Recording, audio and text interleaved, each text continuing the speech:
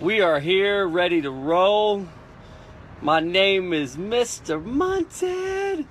Hey, those of you in the Heal family, welcome back. Good to have you again.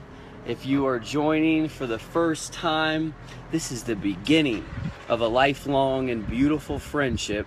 I am Stephen Munson, and today's Live at 5 is to chase a big dream.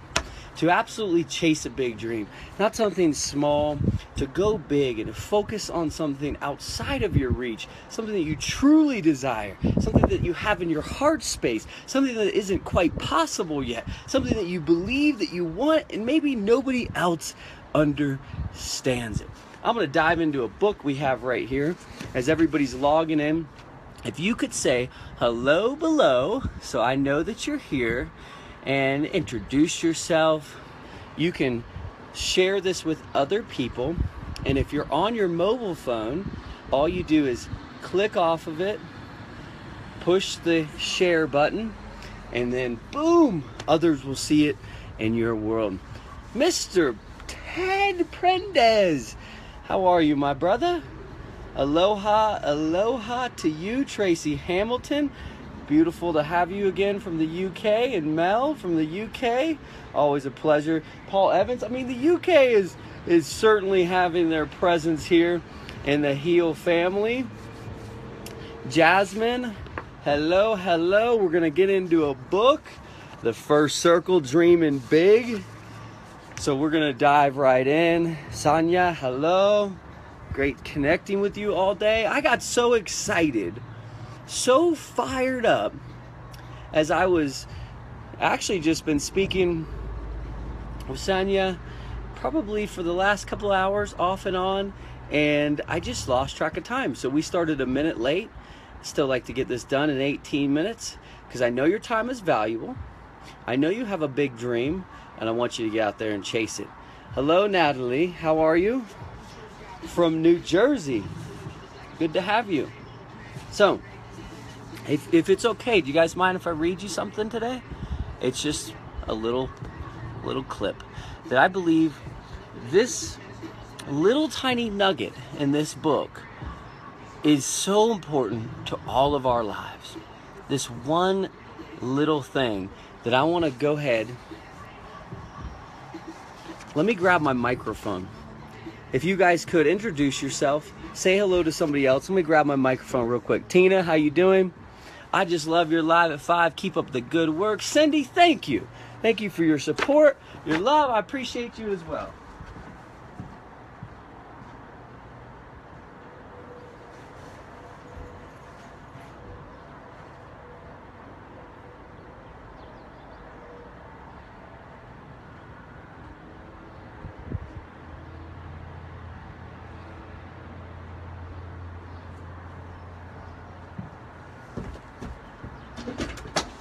Oh well.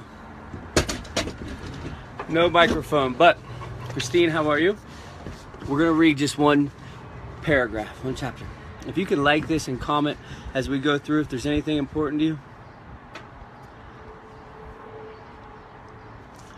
Neuroimaging has shown that as we age, the center of cognitive gravity tends to shift from the imaginative right brain to the logical left brain. At this neurological tendency presents a grave spiritual danger. At some point, most of the most of us stop living out of imagination and start living out of memory. Instead of creating the future, we start repeating the past. Instead of living by faith, we live by logic. Instead of going after our dreams, we stop circling Jericho. Now, the whole purpose of it is that what happens is as we grow up, instead of using our imagination, we start to rely on memory, saying, This happened before, it's bound to happen again. So let me give you some more practical examples. let's take a relationship for example.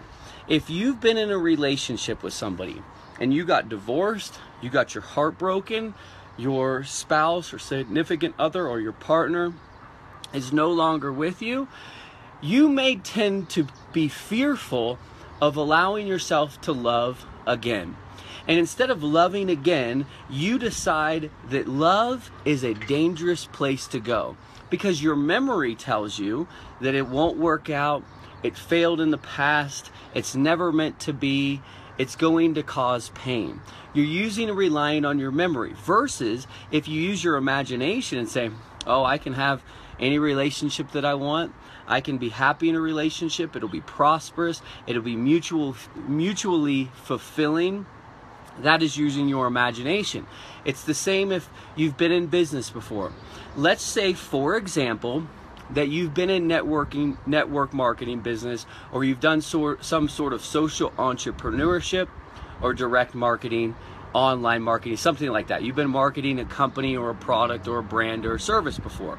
And in the past, you have failed, meaning you paid for the to get your business started. You got a website, you had a mentor or a coach, or you bought products, or you went to an event and things didn't work out for you. You begin to use your memory to say, on your future opportunities, that because of what happened in the past, things won't work out for you. So you began this cycle. Instead of using your imagination, you go to past memories.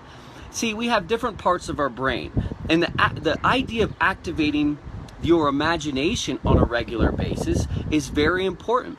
So what I always like to do is every morning I'll get up and I'll sit here. I actually have been making a bed on this porch, porch life.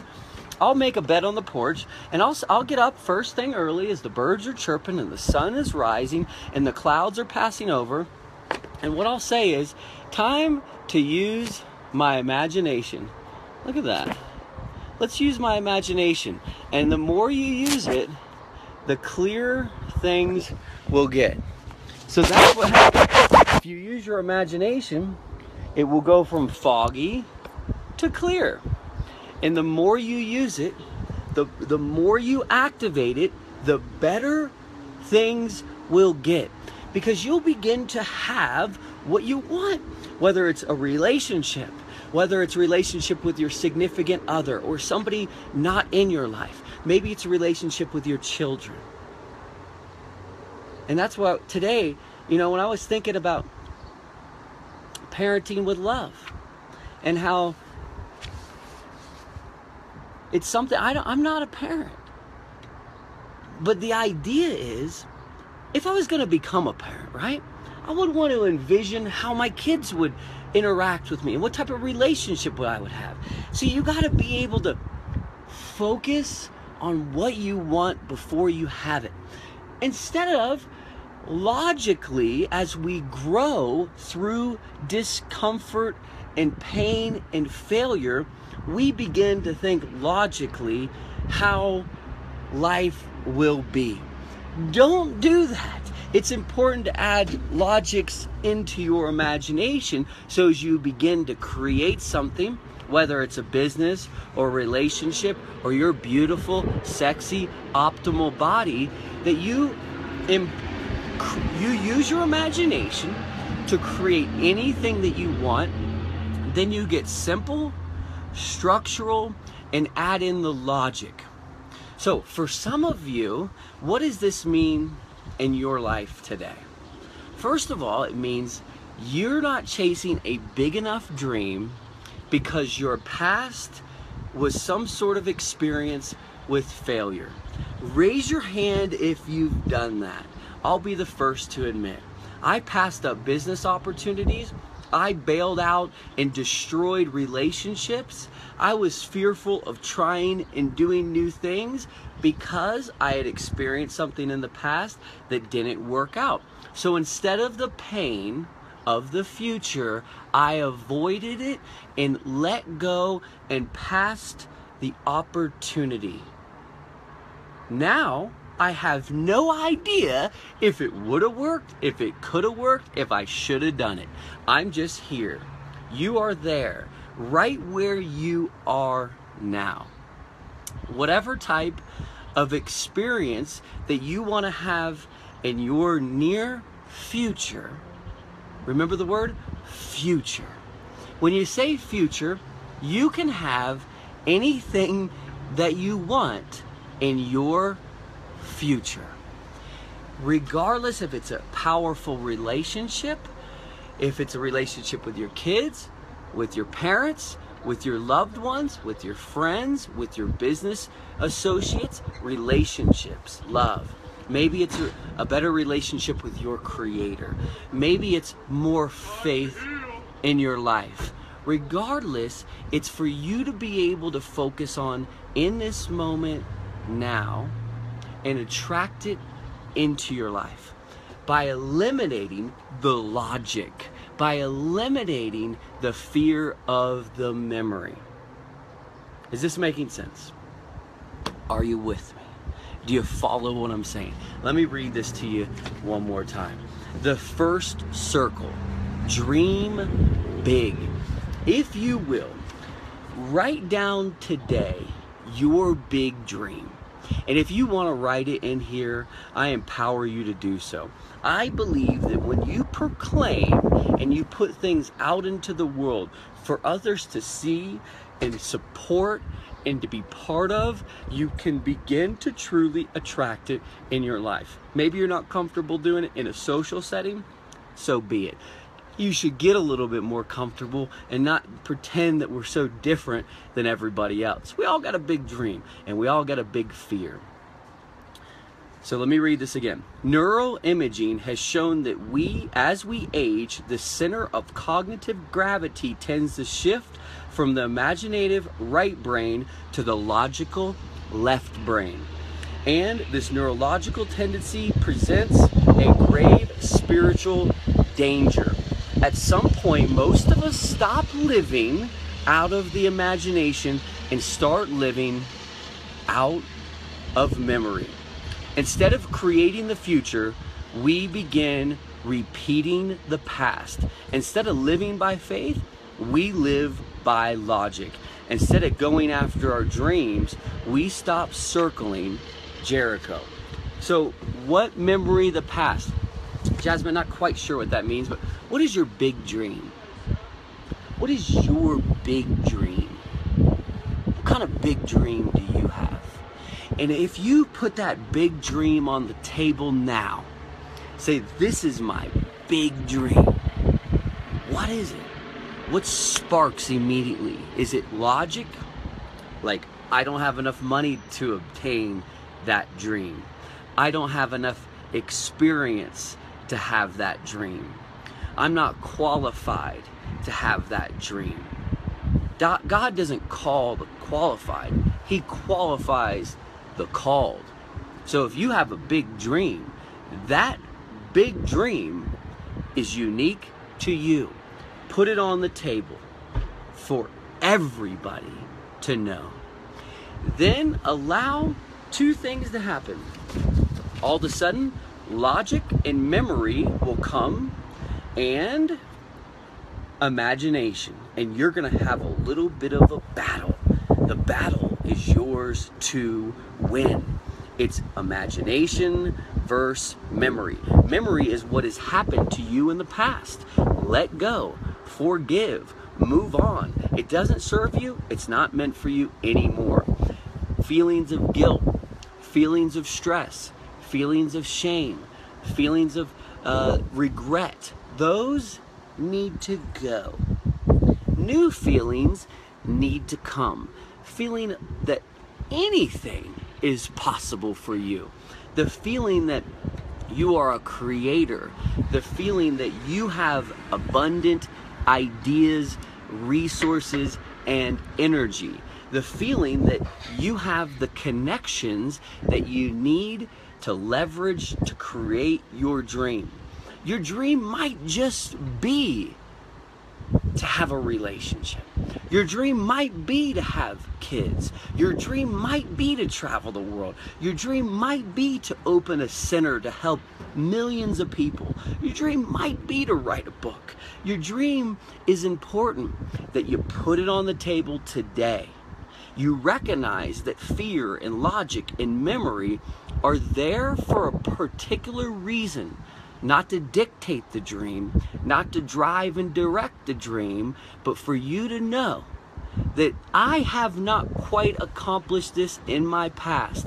Others might not fully believe in what I'm gonna do.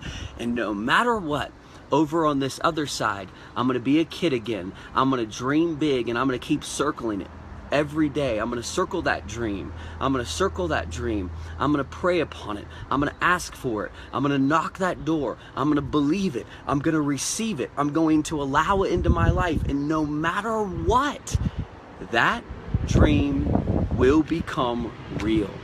No matter the obstacles, no matter the environment, no matter the situation, no matter the past, the memory, the logic of it, you have an important, powerful gift. It's your imagination, your creativity, your resilience, your ability to press forward.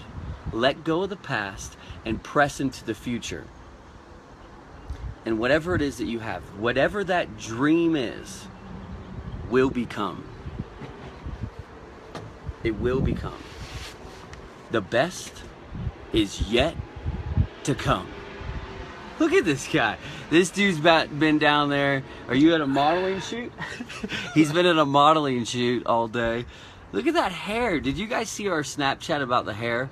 I, I made my own shampoo and I did it and then I was like, check out my new hair and then I showed his hair. So, Cindy, we're glad you came. Tina, great to have you. Chase your dreams. Tanya. And walk in faith. Everyone who want to give a big shout out to Walker. If you could do it, he just Walker just got a huge opportunity. He's going to embark in tomorrow. Short little thing. He's going to be traveling around the country. It's amazing, and He's going to be working with NASCAR. As I told you, he's one of the branding and messaging and marketing experts that I know, really good friend of mine. He's been here, and since he's been here for just a few days, wow, we have done some incredible stuff getting on that whiteboard, doing some amazing brand new things that we're going to be bringing to Heal. For those of you that are in the Heal family, I'd like to just say we're glad to have you. We got something really special planned better than anything that we've ever thought that we were going to do, and we're going to do it right away. It was seemingly like a distant idea that just came right into the present moment because we had a dream and we focused upon it, and we didn't let any sort of logics or memory of the past set the boundary of the now. The future is unlimited. That future is unlimited. So, for those of you that are part of Heal or you've been thinking about it and circling around it and wondering, now is the time because we're doing where you can go all in in the company instead of $650, it's only $350. It's the lowest it will ever be and that's to go all in to get all of our health, wealth, and love products where we work with you directly. So it's happening right now. It's a very short, extended invitation to come all in and to be part of our family that we're doing now as we go into the next level of what we were planning on doing. Anyhow, take advantage of that. Let whoever it is that you know that you want in and get in and do it today. And don't worry about all the details and the logic of it. Focus big, dream big, pretend that you can have anything, but focus on that each and every moment of your life because you can do that. This is a cool book.